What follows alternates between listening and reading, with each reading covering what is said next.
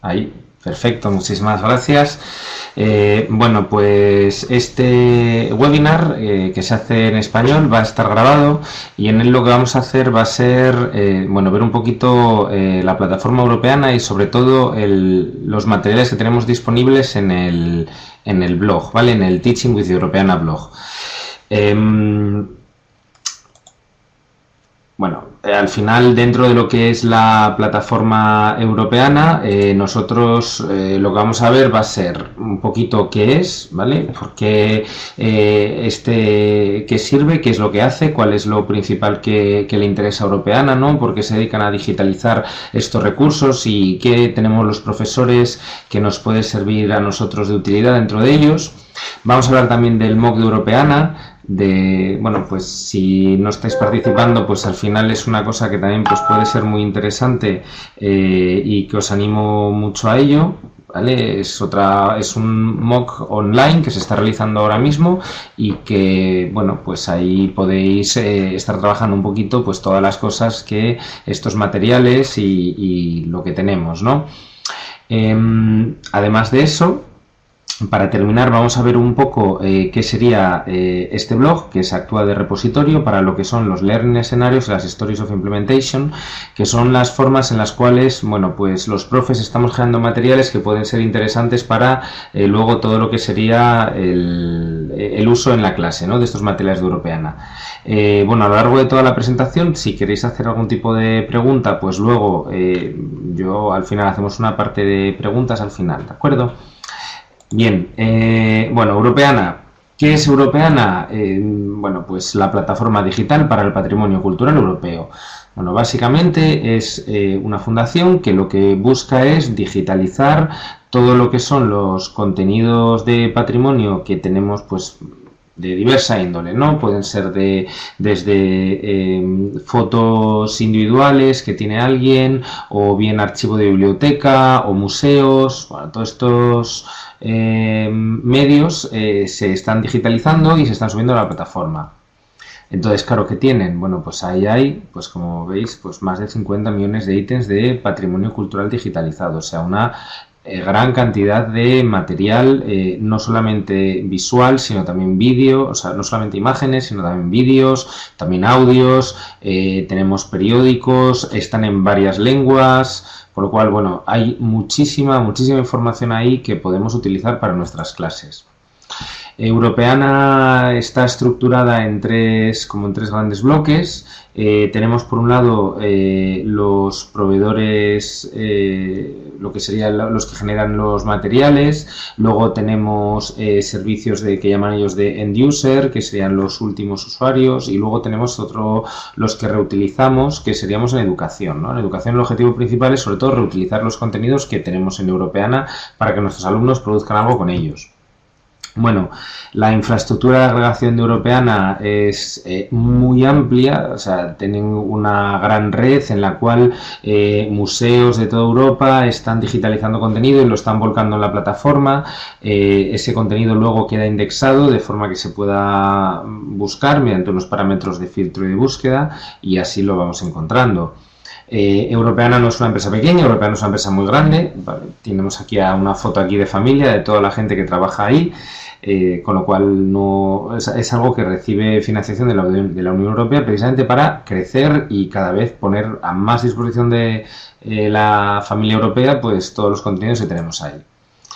Eh, bueno, ¿De qué voy a hablar un poquito? Voy a ir, no es el objetivo principal de este webinar estar hablando de precisamente de la plataforma europeana, de eso ya hubo uno anterior y que está disponible online y ahí podemos ver parte de lo que hay aquí con mayor detalle, pero dentro de Europeana pues lo que podemos tener son colecciones y exposiciones, ellos eh, no solamente que digitalizan el contenido, sino que también ya eh, generan como pequeñas... Eh, colecciones donde ya está asociado, agrupado eh, parte del contenido de forma que sea más fácil la búsqueda de lo que se interesa.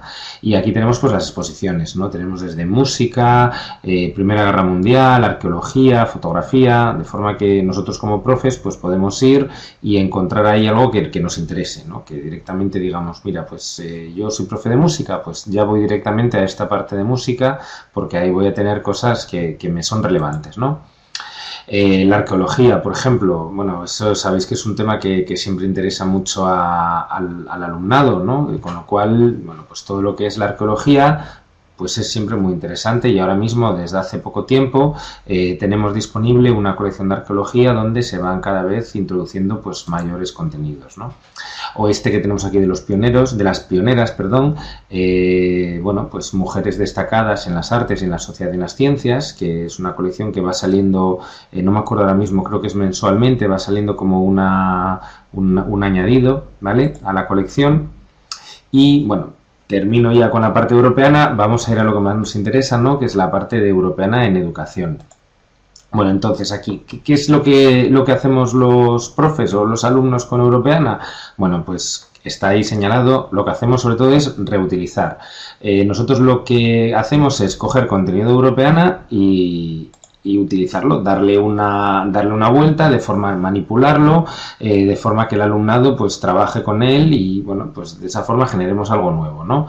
Todo esto para qué se hace? Ese intento de, esto sirve, enlaza mucho con ese intento de cambiar lo que son las la, bueno, la escuela del siglo XIX y entrar en el siglo XXI, ¿no? Consiguiendo así pues tener eh, un nuevo tipo de escuela en la cual se aprenda mediante metodologías activas. Eh, como veis aquí, Europeana lo que busca es enriquecer los contenidos para hacer más motivadores las clases gracias a recursos de acceso libre. Una cosa muy importante Europeana es que todo es libre, o sea, está recibiendo financiación de la Unión Europea y lo que quiere es precisamente, bueno, pues todo lo que se está trabajando, ponerlo a libre acceso de los profesores de toda la Unión Europea. Es una red educativa muy amplia, eh, dentro de cada eh, se va firmando acuerdos con distintos ministerios de educación o consorcios. Eh, dentro de aquí de España, pues está trabajando con el Ministerio de Educación y con el INTEF, donde, bueno, pues tenemos, luego os comentaré un poco, pero tenemos un espacio dentro de Procomún, por si seguro que os suena, ¿vale? El espacio este que tienen generado dentro del INTEF para comunidades de profesores. Eh, los portales nacionales, veis que justo aquí está apareciendo lo que sería Procomún. Vamos a utilizar aquí la flecha, a ver, eh, por aquí, sí, este sería el, de, el nuestro, el de Procomún, pero ya veis que lo tenemos también en Portugal, ¿vale? Francia, en distintos, distintos países tienen portales educativos que están dedicados al uso de Europeana, eh, todos puestos por el Ministerio. Bien, ¿qué otra cosa hizo Europeana? Bueno, pues se dio cuenta que la mejor forma de generar materiales que vayan a utilizar los profes, pues es que sean materiales que los generen profes, ¿no? Eh, estamos todos muy acostumbrados a ver algunos materiales que según los vemos ya decimos esto no lo ha hecho un profe porque esto es muy complicado de, implementar en un aula, o sea, les falta como un poco de, bueno, pues las vivencias que, que tenemos nosotros como profes, ¿no? Entonces ahí aparece lo que se llama el Developer Group. Developer Group son una serie de profes europeos, todos de distintos países, que lo que hacen es ir generando materiales de Europeana, cogiendo eh, contenidos y preparando actividades para el aula, tanto para infantil, primaria, secundaria, bachillerato, eh, de ciencias, de letras, de historia, de biología. ¿Qué ha permitido todo esto? Bueno, pues es un proceso en el cual hemos visto pues cómo conseguir utilizar el contenido europeana para que nuestras clases pues sean mejores para los alumnos, ¿no? Eh, hemos generado actividades que entendemos que, motivan al alumnado, que le gustan. Eh, hemos visto otra forma de acercar lo que son los contenidos de, historia o de ciencias, cómo enriquecer clases con patrimonio, es otra cosa que es muy interesante. Eh, contextualiza el aprendizaje. Yo soy profe de mates, entonces, claro, mm, la pregunta siempre de mis alumnos es, ¿y esto para qué vale? Bueno, pues eh, al utilizar y poder aprovechar pues una imagen de europeana arquitectónica y explicar ahí directamente, mira, esto es una sección áurea. Con una sección áurea, pues eh, aquí vemos en este templo griego, vemos cómo se está generando toda la geometría. Y eso hace que el alumno, pues, se acerque, tenga otra, otra motivación para acercarse a, a este aprendizaje, ¿no? Bueno, aquí lo que tenemos, yo estoy por aquí, mira, justo aquí. Y de hecho me parece que llevo hasta ahí estoy, sí, ahí estoy, al lado de otras personas del, User Group. Eh, aquí tenemos a Isabel Crespo, que es la encargada de educación de Europeana. y estamos en una de las reuniones que, que hemos hecho en Bruselas, en European Schoolnet. Entonces, los Developer Group, eh, hay distintas etapas, eh, hubo la 1, la 2, la 3, ahora estamos en la 4. Entonces, tenemos un User Group español, que son, bueno, pues toda esta gente que tenemos aquí, somos 12 más 1, 12 eh, personas del User Group y un responsable o coordinador, que sería yo. Entonces, somos 13 personas que lo que nos dedicamos es a generar materiales para el uso dentro de la plataforma de Europeana y para poderlos poner a libre disposición de todos los profes en español, ¿vale? Bueno, está en inglés, pero la idea es que luego cualquiera los puede utilizar. Y vamos generando pues learning escenarios, historias de implementación. Aunque luego voy a hablar más de ellos, eh, un learning escenario al final es una actividad donde un profe, pues por ejemplo, mm, de infantil, pues coge unos contenidos de Europeana y genera una actividad curricular y que él puede utilizar en sus clases. De esa forma, pues tú luego eres de infantil y vas y coges esa actividad y como te es curricular, pues la puedes hacer en tu clase sin ningún problema. Y además ya está temporalizada, ya se te quedan especificados los materiales a utilizar. Bueno, pues todo eso es eh, lo que sea un learning escenario. Una historia de implementación ya es como una vuelta de tuerca. Es eh, yo me cojo el escenario de otro profesor y lo adapto a mi clase. O sea, igual el escenario el profesor le valía muy bien para el grupo que él tenía, pero en el mío, por las necesidades que tenga yo específicas, pues puedo necesitar eh, disminuir algo, quitar, añadir aquí, y eso es una historia de implementación, no es más que mostrar cómo yo puedo cogerlo, adaptarlo, reutilizarlo, que es de lo que va, ¿no? Reutilizarlo y luego tenerlo para, para mi propia clase, ¿no? Un escenario de otro compañero. Eh, todo esto es un early escenario. O sea, aquí tenemos que seguro si estáis haciendo el MOOC, pues estaréis trabajando poco a poco vuestro learning escenario.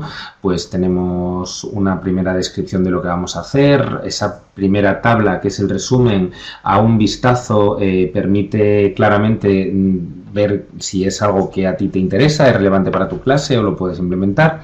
Eh, tienes un apartado donde se te, indica, se te indican los materiales que vas a necesitar para usar en el aula, una idea de temporalización, aunque justo esto ya sabéis que es lo más em, variable porque tú puedes las clases son diferentes y no, no podemos decir que lo que me ha costado a mí en la mía sea lo mismo que te va a costar en la tuya una descripción de las competencias del siglo XXI. en España tenemos nuestro propio marco competencial, pero a nivel europeo se está dando mucho énfasis a estas competencias del siglo XXI. Y luego, bueno, pues una temporalización de actividades y una forma de evaluación, ¿no? Porque al final somos profes y todo lo que hagamos pues tiene que ser evaluado. Si no se puede evaluar, no es una buena actividad. Bueno, voy a hablar ahora un poquito del, del MOOC, ¿no? El MOOC empezó el 18 de marzo, eh, estamos ahora por la cuarta semana, eh, nos queda una quinta semana y luego tenemos todavía un periodo de gracia de semana y media, o sea que en realidad es algo que se puede, se puede llevar, ¿vale? Eh, dentro del MOOC eh, hay una serie de actividades que te van, están pautadas, dimensionadas de forma pues que poco a poco vayas construyendo tu learning escenario, ¿no? Que es el objetivo último, poder generar un learning escenario. Eh, de esa forma, bueno, pues te acercas un poco a la plataforma europeana, ves todos los recursos disponibles, creas actividades didácticas y sobre todo ves qué es lo que hacen otros compañeros para, bueno, pues tú poder enriquecernos todos, ¿no? A base de compartir, pues enriquecer nuestras clases y acercar el patrimonio digital a nuestros alumnos. Em, hay dentro del MOOC, tampoco me voy a extender mucho, esta presentación y, esta, y la grabación de este webinar van a quedar luego disponibles y ahí podríais tener información pues, para registraros en el MOOC o para hacerlo, ¿vale? Incluso aunque el MOOC acaba, luego siempre queda el material en abierto, con lo cual se podría hacer a más tarde, ¿vale? O sea, podrías tener acceso a los materiales. Eh, esta es la página principal del MOOC, que está dentro de la European Schoolnet Academy y ahí es donde tú cogerías, te darías de alta y ahí, bueno, pues irías haciendo eh, todas las tareas que te van pidiendo. Eh, aparte de eso, tenemos un grupo de Facebook Europeana en el aula eh, si lo queréis solicitar, eh, bueno, es un grupo para los participantes del MOOC, pero ahí vamos comentando también un poco, bueno, por las cosas que vamos haciendo, noticias, avisos. Y tenemos también en Twitter, eh, hay un hashtag que es Europeana MOOC es, todo junto, y ahí es donde cuando se tuitea alguna noticia relativa al MOOC, pues ese es el hashtag que utilizamos de forma que ahí lo tenemos, ¿no? O sea que tenemos por un lado el MOOC, que está en European Schoolnet Academy, y luego redes sociales, tenemos Facebook, un grupo privado Europeana en el aula, y en Twitter abierto, porque es una plataforma abierta, obviamente, eh, con un hashtag Europeana MOOC es. Bueno, el blog, vale. ¿Qué estamos haciendo ahora mismo todos los profesores que son del User Group? Bueno, pues antes os comentaba, ¿no? Estábamos generando esos materiales, esos learning escenarios, eh, y esos learning escenarios están todos yéndose al repositorio que es el Teaching with Europeana blog. Ahí tenéis lo que sería. Mm, el link para acceder, que es ese teachwitheuropeana.eun.org eh, y es un blog que ya está abierto y al cual se puede entrar ahora mismo. En ese blog tenemos, por un lado, eh, cada eh, martes y jueves se publica un learning escenario nuevo y una historia de implementación nueva y cualquier profe puede ver y descargar el contenido y comentar. ¿Vale? Solamente los profesores que son del user group son los que están generando materiales que se están subiendo, porque hemos tenido todos, bueno, pues una formación, tenemos una idea clara de cómo ir haciéndolo y entonces son ya materiales con una calidad contrastada que son los que se acaban subiendo aquí al, al blog. Eh, bueno, pues ¿qué podemos ganar participando en este blog y viendo los materiales? Pues tenemos escenarios, nuevos learning escenarios, eh, compartimos experiencias porque vamos comentando entre nosotros, eh, bueno, los profes, pues ya sabéis, interaccionamos, ¿no? Entonces nos decimos qué tal están las cosas, ah, yo se me dice qué tal ha ido la implementación de mi learning escenario en otro sitio y sobre todo hacemos comunidad, ¿no? Europeana lo que más quiere es que los profes pues estemos haciendo precisamente este acercar este patrimonio digital a nuestros alumnos y bueno, si generamos una comunidad de profes que tienen este interés, pues al final eh, va todo sobre ruedas, por así decirlo. Bueno, learning escenarios, para que veáis, aquí lo que hay es un recorte de, todos los que tenemos ahí disponibles, algunos pocos, ¿no? Pues hay algunos desde la Gran Guerra, eh, manifestaciones, Refake It, que ese es, un, ese es uno súper interesante, a mí me gustó mucho, que es de cómo, bueno, pues es un poco como con las fake news y cómo podemos eh, cambiar cosas. Eh, bueno, veis aquí que hay varios, ¿no? veis que al final es LS, es el escenario, y luego el, hay una referencia al país del cual es el, profesor que lo ha generado, que en este caso pues estáis viendo RO de Rumanía, FR de Francia, HU de Hungría, PT de Portugal, en España los tenemos con ES, ¿vale? Así que también ahí tenemos varios españoles.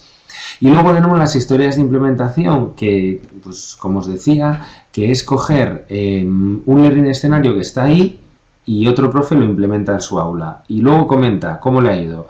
Eh, mira, pues horrible, no es que no estaba bien dimensionado para mi clase y he tenido que cortar la mitad. Genial, lo has podido adaptar, no hay ningún problema. Se me ha quedado corto, he tenido que añadir esto y esto, o ha estado genial. ¿Vale? O sea, es que, claro, eso, cada uno en su clase, sabéis que son diferentes, pero esto da idea de la flexibilidad de los materiales, ¿no? De cómo los podemos adaptar a distintos ámbitos, porque los currículums son distintos.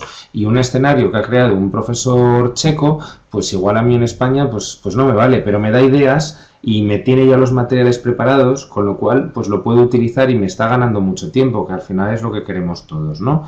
Cosas que cogemos y, podemos utilizar rápidamente en, lo que sería pues nuestra clase.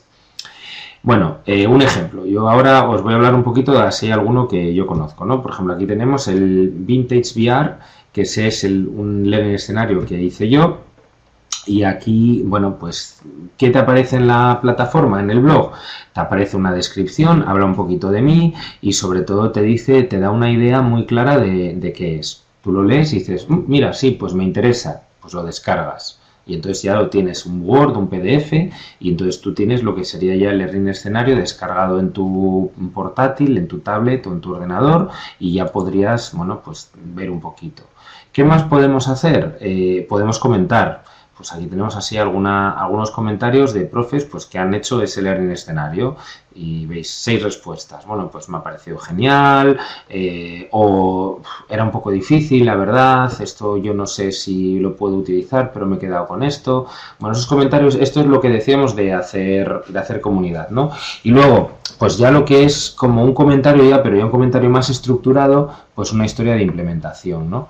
Y aquí lo que veis, pues es eh, un compañero, Riskar, que es polaco, pues cogió el learning escenario del Vintage VR y entonces lo, implementó en su clase.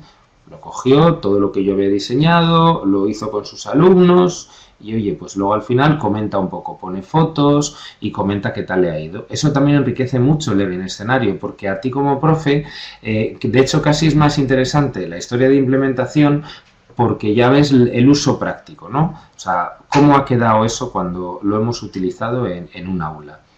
Y lo dicho, pues dentro de España pues tenemos 12, 12 profesores que forman el user group que han generado eh, learning escenarios que van a estar, van a irse subiendo a, esta plataforma y ahí pues los vamos a tener todos, ¿no? Y hay cosas súper chulas, que la verdad es que se lo han currado mucho.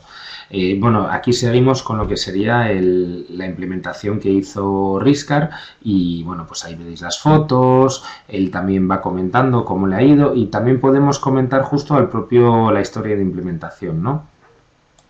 Y bueno, eh, todo eso pues es algo pues que es lo que hace que todo sea pues muy interesante no bueno yo lo que os quería enseñar pues hasta aquí ha estado bastante rápido todo con lo cual ahora mismo si tenéis alguna pregunta pues podemos aprovechar unos minutos para ver un poquito lo que lo que hay por aquí vale entonces si queréis hacer una pregunta me decís y os doy el micro y o me habláis en el chat vale si no, yo por mi parte ya tengo lo que os quería comentar hecho. Así que lo que me digáis.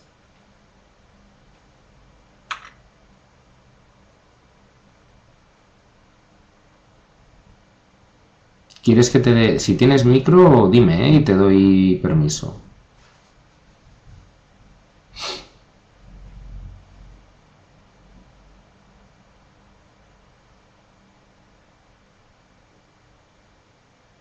A ver.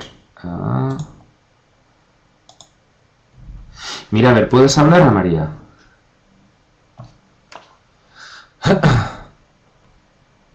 Hola, sí, sí, sí, se te oye, cuéntame. No, mm, estaba dando una vuelta por el grupo y mm. veo que, que no es accesible a cualquiera el grupo en, en uh, ¿El grupo, perdona? ¿Qué grupo? Eh, el grupo Europeana es en eTwinning.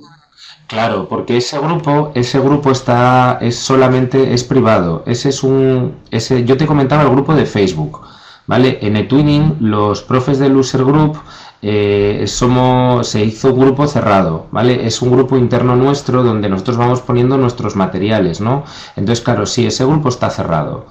Pero lo que sería el grupo de Facebook, si tú estás haciendo el, el MOOC, que antes me habías comentado que lo tenías hecho, ¿no? O estabas en ello haciendo, en eso estoy. Claro. Un poco atrasada, pero en eso estoy. Te da tiempo de sobra, mujer, ya verás. Si eso se hace, eso luego enseguida lo te pones al día.